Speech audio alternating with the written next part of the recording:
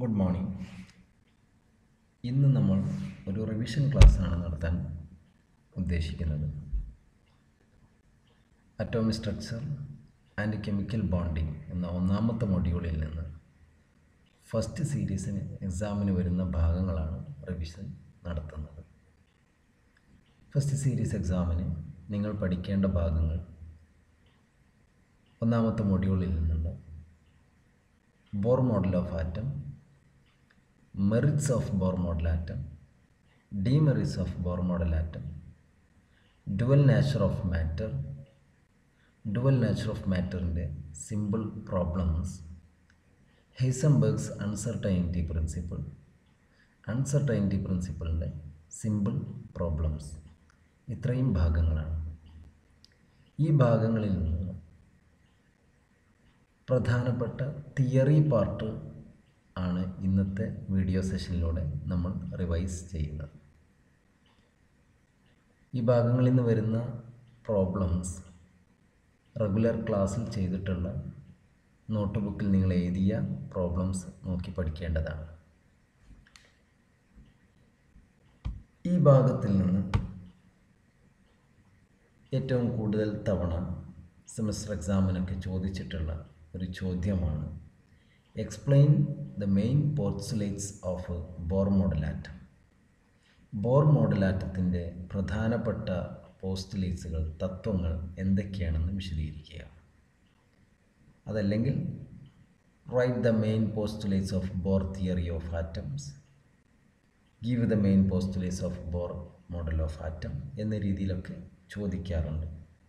പ്രധാനമായിട്ടും പാരഗ്രാഫ് ക്വസ്റ്റ്യനിൽ S A പാർട്ടിലൊക്കെ അഞ്ച് മാർക്കിന് ആറ് മാർക്കിന് എന്ന രീതിയിലാണ് ഈ ചോദ്യങ്ങൾ വരാറുള്ളത്. അപ്പോൾ എന്താണ് അതിന്റെ ആൻസർ എന്നുള്ളത് നോക്കാം. റൂദർഫോർഡിന് ശേഷം ആറ്റം ഇങ്ങനെയിരിക്കും എന്ന രീതിയിൽ ഒരു മോഡൽ അവതരിപ്പിച്ച ആളാണ് നീൽസ് ബോർ എന്ന് പറയുന്ന സയന്റിസ്റ്റ് ഹൈഡ്രജൻ ആറ്റത്തിൽ പഠനം നടത്തി. അതിൽ നിന്ന് കിട്ടിയ റിസൾട്ട് വെച്ചിട്ട് അദ്ദേഹം ലോകത്തിന് മുന്നിലേക്ക് നൽകിയ തത്വങ്ങളെയാണ് ബോർ മോഡൽ ഓഫ് ആറ്റം എന്ന പേരിൽ അറിയപ്പെടുന്നത്. അതിൽ പ്രധാനപ്പെട്ട തത്വം ഒന്നാമത്തത് the electron in a hydrogen atom revolving around the nucleus through a fixed concentric circular path called orbit. Hydrogen ആറ്റത്തിൽ ന്യൂക്ലിയസിന് ചുറ്റും ഇലക്ട്രോണുകൾ കറങ്ങുന്നത് ഒരു പ്രത്യേകമാക്കപ്പെട്ട ഫിക്സഡ് ആയിരിക്കുന്ന ഒന്നിനുള്ളിൽ മറ്റൊന്ന് എന്ന രീതിയിൽ ക്രമീകരിക്കപ്പെട്ടിരിക്കുന്ന അതായത് കോൺസെൻട്രിക് വൃത്താകൃതിയിലുള്ള പാതകൾക്കുള്ളിലൂടെയാണ് ഈ പാതകളെ ഓർബിറ്റ് എന്ന് വിളിക്കുന്നത്. രണ്ടാമത്തെ തത്വം each orbits are associated with a definite amount of energy therefore these orbits are also called as energy levels മുകളിൽ പറഞ്ഞ ഇലക്ട്രോണുകൾ കറങ്ങുന്ന ആ ഓർബിറ്റ് എന്ന് പറയുന്ന വൃത്താകൃതിയുള്ള പാത. അങ്ങനെയുള്ള ഓരോ പാതകളും ഓരോ പാതകൾക്കും ഒരു പ്രത്യേകമാക്കപ്പെട്ട എനർജി ഉണ്ട് പ്രത്യേകമാക്കപ്പെട്ട ഊർജമുണ്ട് അതുകൊണ്ട് തന്നെ ഈ ന്യൂക്ലിയസിന് ചുറ്റും കാണപ്പെടുന്ന ഇലക്ട്രോണുകൾ കറങ്ങുന്ന ഈ പാതകളെ ഈ ഓർബിറ്റുകളെ എനർജി ലെവൽസ് ഊർജ നിലകൾ എന്നും വിളിക്കുന്നുണ്ട്. മൂന്നാമത്തെ തത്വം the electron revolving through the orbit does not lose or gain energy therefore orbits are called stationary energy levels ഒരു ഓർബിറ്റിന്റെ ഉള്ളിലൂടെ കറങ്ങിക്കൊണ്ടിരിക്കുന്ന ഇലക്ട്രോൺ അതിന്റെ കറക്കം കൊണ്ട് ഊർജം നഷ്ടപ്പെടുകയുമില്ല ഊർജം ലഭിക്കുകയുമില്ല. ഒരു ഓർബിറ്റിനകത്തുള്ള ഇലക്ട്രോണിന്റെ എനർജി കോണ്ടൈസ്ഡ് ആണ് നിശ്ചിതമാക്കപ്പെട്ടതാണ് മാറാത്തതാണ്. അതുകൊണ്ട് ഓർബിറ്റുകളൊക്കെ സ്റ്റേഷനറി എനർജി ലെവൽ മാറാത്ത ഊർജമുള്ള നിലകൾ എന്ന് പേരിലൂടെ കൂടെ വിളിക്കുന്നുണ്ട്. നാലാമത്തെ postulates the angular momentum of an electron in the orbit is the integral multiple of h by two pi ഓരോ ഓർബിറ്റിന്റെ ഉള്ളിലൂടെയും ഇലക്ട്രോണുകൾ കറങ്ങിക്കൊണ്ടിരിക്കുന്നുണ്ട് അങ്ങനെ ഒരു വൃത്താകൃതിയുള്ള പാതയിലൂടെ ഇലക്ട്രോൺ കറങ്ങുകയാണെങ്കിൽ അതിന് ആംഗുലാർ മൊമെന്റും ഉണ്ടാകും. അപ്പോൾ ഒരു ഓർബിറ്റിന്റെ ഉള്ളിലൂടെ കറങ്ങുന്ന ഇലക്ട്രോണിന്റെ ആംഗുലാർ മൊമെന്റം എന്ന് പറയുന്നത് എച്ച് ബൈ ടു പൈ എന്ന് പറയുന്ന ഒരു ഫാക്ടറിനോട് ഇന്റഗ്രൽ നമ്പർ ഗുണിക്കുന്ന രീതിയിലായിരിക്കും. അപ്പോൾ ഓരോ ഓർബിറ്റിനും ഒരു പ്രത്യേക എണ്ണൽ സംഖ്യ ഉണ്ടായിരിക്കും. ഒന്നാമത്തെ ഓർബിറ്റിന് ഒന്ന് രണ്ടാമത്തെ ഓർബിറ്റിന് രണ്ട് മൂന്നാമത്തെ ഓർബിറ്റിന് മൂന്ന് എന്ന രീതിയിൽ ഇന്റഗ്രൽ നമ്പേഴ്സ് ഉണ്ട്.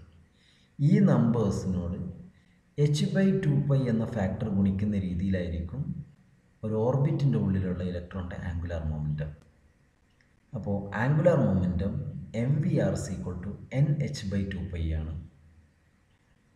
അതിൽ എം എന്ന് ഉദ്ദേശിച്ചത് മാസ് ഓഫ് ഇലക്ട്രോൺ ആണ്. കറങ്ങുന്ന വസ്തു ഇലക്ട്രോൺ ആയതുകൊണ്ട് ഇലക്ട്രോണിന്റെ മാസ്സാണ് വി എന്ന് പറയുന്നത് വെലോസിറ്റി ഓഫ് ഇലക്ട്രോൺ ആണ്. ഈ ഇലക്ട്രോൺ കറങ്ങിക്കൊണ്ടിരിക്കുന്ന ഇലക്ട്രോണിന്റെ വെലോസിറ്റിയാണ് ആർ എന്ന് പറയുന്നത് റേഡിയസ് ഓഫ് ദ ഓർബിറ്റാണ് ഏത് ഓർബിറ്റിലുള്ള ഇലക്ട്രോൺ ആംഗുലാർ ആണോ നമ്മൾ നോക്കുന്നത്? ആ ഓർബിറ്റിന്റെ റേഡിയസ് ആണ്. എൻ എന്ന് പറയുന്നത് ഇന്റഗ്രൽ നമ്പേഴ്സാണ് എണ്ണൽ സംഖ്യയാണ്. ഏത് ഓർബിറ്റാണോ ആ ഓർബിറ്റിന്റെ എണ്ണൽ സംഖ്യയാണ് അവിടെ എന്നിന് പകരം കൊടുക്കേണ്ടത്. എച്ച് എന്ന് പറയുന്നത് പ്ലാങ്ക്സ് കോൺസ്റ്റന്റ് ആണ്. മാക്സ് പ്ലാങ്ക് കൊണ്ടുവന്ന കോൺസ്റ്റന്റ് ആണ്. എച്ച് എന്ന പേരിൽ അറിയപ്പെടുന്നത്.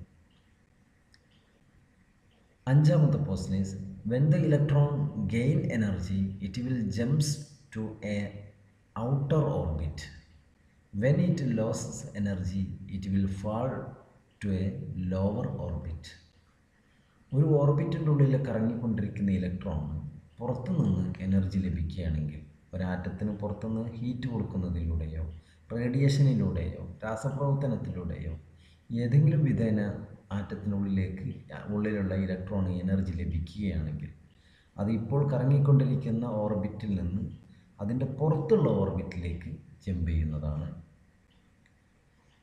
പുറത്തുള്ള ഓർബിറ്റിലേക്ക് ജമ്പ് ചെയ്ത് അത് അവിടെ കറങ്ങിക്കൊണ്ടിരിക്കുമ്പോൾ അതിന്റെ ഊർജം നഷ്ടപ്പെടുകയാണെങ്കിൽ അത് തിരിച്ച് പുറത്തുള്ള ഓർബിറ്റിൽ നിന്ന് അകത്തുള്ള ഓർബിറ്റിലേക്ക് തിരിച്ച് ഇങ്ങോട്ട് ജമ്പ് ചെയ്യുന്നതാണ്. ഇലക്ട്രോണിന്റെ ജമ്പിങ്ങിനെ കുറിച്ചാണ് അഞ്ചാമത്തെ പോസ്റ്റ്ലേസിൽ പറഞ്ഞിട്ടുള്ളത്. ആറാമത്തെ postulates the energy differences between the orbit is given by the equation delta is equal to E two minus E one that is delta is equal to h nu ഈ ന്യൂക്ലിയസിന് ചുറ്റും ഇലക്ട്രോണുകൾ കറങ്ങുന്ന പാതയായ ഓർബിറ്റുകൾ ഈ ഓർബിറ്റുകൾക്ക് ഓരോന്നിനും പ്രത്യേകം എമൗണ്ട് എനർജി ഉണ്ട് എന്ന് നമ്മൾ ഒന്നാമത്തെ പോസ്റ്റിൽ രണ്ടാമത്തെ പോസ്റ്റിലേസിൽ പറഞ്ഞിട്ടുണ്ട്. അങ്ങനെയാണെങ്കിൽ ഈ രണ്ട് അടുത്തടുത്തുള്ള ഓർബിറ്റുകളുടെ എനർജി ഡിഫറൻസസ് എന്തായിരിക്കും എന്നുള്ളതാണ്. അപ്പോൾ ഇ ടു എന്നുദ്ദേശിച്ചത് രണ്ടാമത്തെ ഓർബിറ്റിന്റെ എനർജി ആണ്. ഇ വൺ എന്നുദ്ദേശിച്ചത് ഒന്നാമത്തെ ഓർബിറ്റിന്റെ എനർജി ആണ്. അങ്ങനെയാണെങ്കിൽ അത് രണ്ട് തമ്മിലുള്ള വ്യത്യാസം എന്ന് പറയുന്നത് delta is equal to h nu ആയിരിക്കും. എച്ച് എന്ന് പറയുന്നത് മാക്സ് പ്ലാങ്കിന്റെ കോൺസ്റ്റന്റ് ആണ്. ന്യൂ എന്ന് പറയുന്നത് frequency of radiation emitted or absorbed ആണ്. അപ്പോൾ ഈ ഇതാണ് ആറ് ബോർ മോഡൽ ആറ്റത്തിന്റെ പോസ്റ്റലീസുകൾ എന്ന് പറയുന്നത്. നെക്സ്റ്റ് പരീക്ഷയ്ക്ക് കാണാവുന്ന അടുത്ത ഒരു ക്വസ്റ്റ്യനാണ് give the merits of a Bohr model atom Bohr model ആറ്റത്തിന്റെ മേന്മകൾ എന്താണെന്ന് നൽകുക. അല്ലെങ്കിൽ give three merits of Bohr model atom Bohr model ആറ്റത്തിന്റെ മൂന്ന് മേന്മകൾ നൽകുക എന്ന രീതിയിലൊക്കെ ക്വസ്റ്റ്യൻ കാണാറുണ്ട്. മൂന്ന് മാർക്കിന് നാല് മാർക്കിനൊക്കെയാണ് ഈ സാ ക്വസ്റ്റ്യൻസ് സാധാരണഗതിയിൽ വരാറുള്ളത്. അതിന് ആൻസർ നോക്കാം. ഒന്നാമത്തത് it could explain the stability of atom Bohr model ആറ്റത്തിന് ആറ്റത്തിന്റെ സ്ഥിരതയെക്കുറിച്ച് വിശദീകരിക്കാൻ സാധിക്കും. ബോർ മോഡലാറ്റത്തിന് മുമ്പ് വന്ന റൂദർഫോർഡ് മോഡലാറ്റത്തിന്റെ ഏറ്റവും വലിയ പരാജയമായിരുന്നു ആറ്റം എങ്ങനെ സ്ഥിരതയോടെ നിൽക്കുന്നു എന്ന് വിശദീകരിക്കാൻ കഴിയാതെ പോയത്. അതാണ് റൂദർഫോർഡ് മോഡലാറ്റത്തിന്റെ ഏറ്റവും വലിയ പരാജയം. എന്നാൽ ആ പരാജയത്തിനെ തിരുത്തിക്കൊണ്ടാണ് ബോർ മോഡലാറ്റം വന്നത്. അതുകൊണ്ട് തന്നെ ബോർ മോഡലാറ്റത്തിന്റെ ഏറ്റവും മേ ഏറ്റവും വലിയ മേന്മ തന്നെ ആറ്റം എങ്ങനെ സ്ഥിരതയോടെ ഇരിക്കുന്നു എന്ന് വിശദീകരിക്കാൻ പറ്റി എന്നുള്ളതാണ്. രണ്ടാമത്തെ മേന്മ നോക്കാം merits it could explain the line spectrum of hydrogen atom hydrogen ആറ്റത്തിന് line spectrum എടുത്തപ്പോൾ ആ ലൈൻ സ്പെക്ട്രത്തിലെ ലൈനുകൾ എന്തുകൊണ്ട് വന്നു എന്നത് കൃത്യമായിട്ട് വിശദീകരിക്കാൻ ബോർ മോഡൽ ആറ്റത്തിന് സാധിച്ചിട്ടുണ്ട്. മൂന്നാമത്തത് we can derive the expression for radius of n orbit Bohr model ആറ്റത്തിന്റെ സഹായത്തോടു കൂടെ നമുക്ക് ഒരു ആറ്റത്തിന്റെ ഉള്ളിലുള്ള ഓർബിറ്റിന്റെ റേഡിയസ് കാൽക്കുലേറ്റ് ചെയ്യാനുള്ള അല്ലെങ്കിൽ കണ്ടെത്താനുള്ള ഇക്വേഷൻ നമുക്ക് ഡിറൈവ് ചെയ്യാൻ സാധിക്കും. നാലാമത്തെ പോസ്റ്റ് മേന്മ.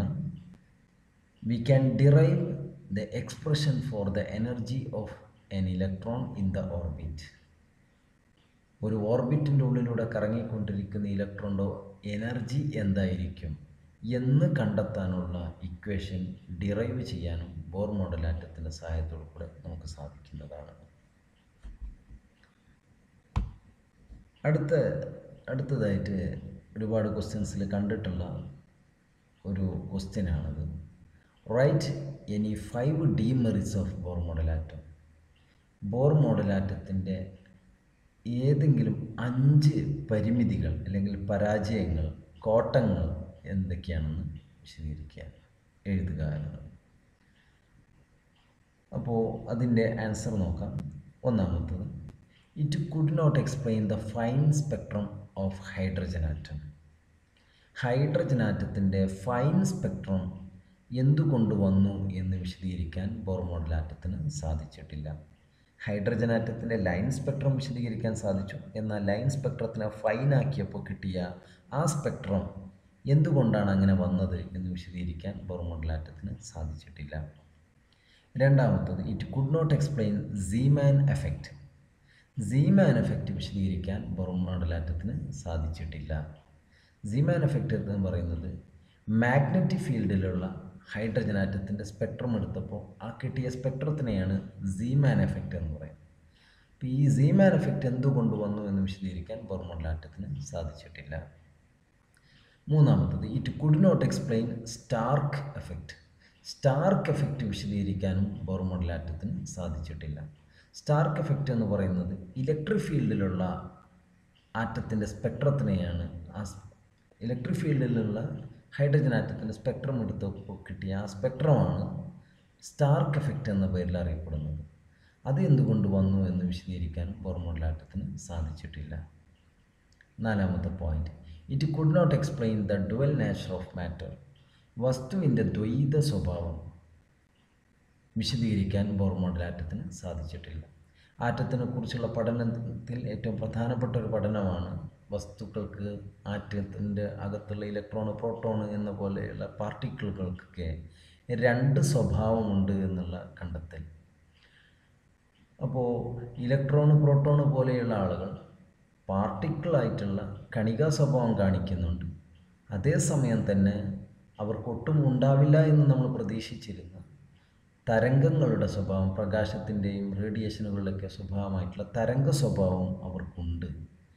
ഒരേ സമയം തന്നെ കണികാ സ്വഭാവം തരംഗ സ്വഭാവം വസ്തുക്കൾ കാണിക്കുന്നുണ്ട്. അതാണ് ഡുവൽ നേച്ചർ ഓഫ് മാറ്റർ അതിനെ വിശദീകരിക്കാനും ബോർ മോഡൽ ആറ്റത്തിന് സാധിച്ചിട്ടില്ല. അഞ്ചാമത്തെ point it could not explain uncertainty principle Heisenberg എന്ന് പറയുന്ന ശാസ്ത്രജ്ഞൻ കണ്ടെത്തിയിട്ടുള്ള അൺസർട്ടൈനിറ്റി പ്രിൻസിപ്പിൾ എന്തുകൊണ്ട് വന്നു എങ്ങനെ വന്നു എന്നതിനെക്കുറിച്ച് വിശദീകരിക്കാനും ബോർ മോഡൽ ആറ്റത്തിന് സാധിച്ചിട്ടില്ല. അടുത്ത ഒരു ക്വസ്റ്റ്യൻ നോക്കാം. Describe dual nature of matter give the de Broglie relation for dual nature of matter and explain the terms dual nature of matter എന്ന് പറഞ്ഞാൽ എന്താണെന്ന് വിശദീകരിക്കുക. Give the de Broglie relation for dual nature of matter dual nature of മാറ്ററിന് de Broglie എന്ന് പറയുന്ന scientist കൊടുത്തിട്ടുള്ള mathematical relation ആ equation എന്താണെന്ന് എഴുതുക. ആൻഡ് എക്സ്പ്ലെയിൻ ദ ടേംസ് അതിലുള്ള ടേമുകൾ എന്തൊക്കെയാണെന്ന് വിശദീകരിക്കുക. ആൻസർ നോക്കാം. According to Louis de Broglie Louis de Broglie പറഞ്ഞതനുസരിച്ച് matter have a dual character വസ്തുവിന് രണ്ട് സ്വഭാവമുണ്ട്. That is both particle character and wave character ആ രണ്ട് സ്വഭാവം എന്ന് പറയുന്നത് ഒന്ന് പാർട്ടിക്കിൾ ക്യാരക്ടറാണ് കണിക സ്വഭാവമാണ് ആൻഡ് രണ്ടാമത്തത് വേവ് ക്യാരക്ടറാണ് തരംഗ സ്വഭാവമാണ്. De Broglie's equation for dual nature of matter is wavelength lambda's equal to h by m b അപ്പോൾ ഡിബ്രോയിലിയുടെ ഡുവൽ നേച്ചർ ഓഫ് മാറ്ററിനുള്ള ആ മാത്തമാറ്റിക്കൽ റിലേഷൻ അല്ലെങ്കിൽ ആ ഇക്വേഷൻ എന്ന് പറയുന്നത് wavelength lambda's equal to h by m v ആണ്. അതിലെ ലാംഡ എന്ന് പറയുന്നത് വേവ് ലെങ്ത് ആണ്. എം എന്ന് പറയുന്നത് മാസ് ഓഫ് പാർട്ടിക്കിളാണ് ഏത് വസ്തുവാണോ? ആ വസ്തുവിന്റെ മാസാണ് വി എന്ന് പറയുന്നത് വെലോസിറ്റി ഓഫ് ദ ബോഡിയാണ് എച്ച് എന്ന് പറയുന്നത് പ്ലാങ്കിന്റെ കോൺസ്റ്റന്റ് ആണ്. ഇത് വെച്ചിട്ടുള്ള പ്രോബ്ലംസ് നമ്മൾ റെഗുലർ ക്ലാസ്സിൽ ചെയ്തിട്ടുണ്ട്. ഈ പ്രോബ്ലംസും നിങ്ങൾ കൃത്യമായിട്ട് ചെയ്യേണ്ടത് ചെയ്യുന്ന രീതിയും പഠിക്കണം. അതും പരീക്ഷയ്ക്ക് വരുന്നതാണ്. അടുത്ത question state Heisenberg's uncertainty principle ഹേസംബർഗിന്റെ uncertainty principle എന്താണെന്ന് പ്രസ്താവിക്കുക. Give it mathematical expression and explain the terms uncertainty പ്രിൻസിപ്പിളിന്റെ mathematical equation എന്താണ്? അതിലെ ടേമുകൾ എന്താണെന്ന് വിശദീകരിക്കുക. ആൻസർ നോക്കാം. Uncertainty principle states that it is impossible to measure both position and momentum of a fast moving particle like electron simultaneously ഹിസംബർഗിന്റെ theory പറയുന്നത് ഇതാണ്. ഇലക്ട്രോണെ പോലെ വളരെ വേഗത്തിൽ മൂവ് ചെയ്യുന്ന ചെറിയ വസ്തുക്കളുടെ പൊസിഷനെയും മൊമെന്റത്തെയും ഒരേ സമയം കൃത്യമായിട്ട് അളക്കുക എന്നത് അസാധ്യമായ കാര്യമാണ്. ഇറ്റ് ഈസ് ഇമ്പോസിബിൾ ഇത് അസാധ്യമാണ് to measure both position and momentum of fast move fast moving particle like electron ഇലക്ട്രോണെ പോലെ വളരെ വേഗത്തിൽ മൂവ് ചെയ്യുന്ന വസ്തുവിന്റെ പൊസിഷനെയും മൊമെന്റത്തെയും അളക്കുക എന്നത് അസാധ്യമാണ് സൈമിൾട്ടേനിയസ്ലി ഒരേ സമയത്ത്. അതിന്റെ മാത്തമാറ്റിക്കൽ എക്സ്പ്രഷൻ നോക്കാം. Delta x into delta p equal to or greater than h by four pi. Delta x എന്ന് പറയുന്നത് അൺസർട്ടൈനിറ്റി ഇൻ ദ പൊസിഷനാണ് ഏത് വസ്തുവാണോ മൂവ് ചെയ്യുന്നത് ആ മൂവ് ചെയ്യുന്ന വസ്തുവിന്റെ പൊസിഷനിലുള്ള ആ കൃത്യതയില്ലായ്മയുള്ള അതിനെയാണ് uncertainty in the position delta x എന്ന് സൂചിപ്പിച്ചത്. Delta p uncertainty in the momentum of the പാർട്ടിക്കിളാണ് h എന്ന് പറയുന്നത് മാക്സ് പ്ലാങ്കിന്റെ കോൺസ്റ്റന്റ് ആണ്. നമുക്കറിയാം momentum p c equal to m v ആണ് മാസ് ഇന്റു വെലോസിറ്റിയാണ് അങ്ങനെയാണെങ്കിൽ ഇവിടെയുള്ള ഡെൽറ്റ പിക്ക് പകരം എം വി കൊടുക്കാം. അങ്ങനെ വരുമ്പോൾ equation delta x into m delta v equal to or greater than h by four pi ഇവിടെ പിക്ക് പകരം എം വി ആണ് കൊടുത്തത്. അതിൽ മാസ് എന്നുള്ളതിന് ഡെൽറ്റ വരില്ല. കാരണം മാസ് എപ്പോഴും കൃത്യമായ ഒരു വാല്യൂ ആയിരിക്കും. അതിന് കൃത്യതയില്ലായ്മ ഉണ്ടാവില്ല. അതുകൊണ്ട് മാസിന് ഡെൽറ്റ കൊടുക്കേണ്ടതില്ല. വെലോസിറ്റിയാണ് അൺസർട്ടൈൻ ആയിട്ടുണ്ടാവുക. അതുകൊണ്ട് ഡെൽറ്റ വി കൊടുക്കണം. ഇപ്പോൾ ഇവിടെ എം എന്ന് പറയുന്നത് മാസ് ഓഫ് ദ പാർട്ടിക്കിളാണ് ഇലക്ട്രോൺ ആണെങ്കിൽ ഇലക്ട്രോണിന്റെ മാസ്സാണ് ഡെൽറ്റ വി എന്ന് പറയുന്നത് ആ പാർട്ടിക്കിൾസിന്റെ വെലോസിറ്റിയിലുള്ള അൺസർട്ടൈനി കൃത്യതയില്ലായ്മയാണ്.